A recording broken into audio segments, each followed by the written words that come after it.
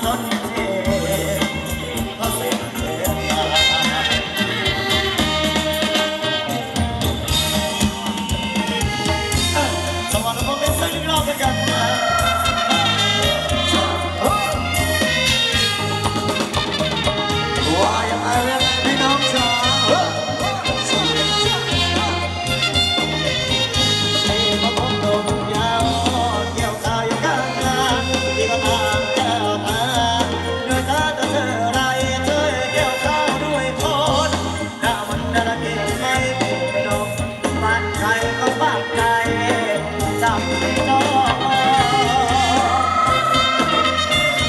chặt tròn đại nó vào mày đồ đúng không đi đâu mà mới lo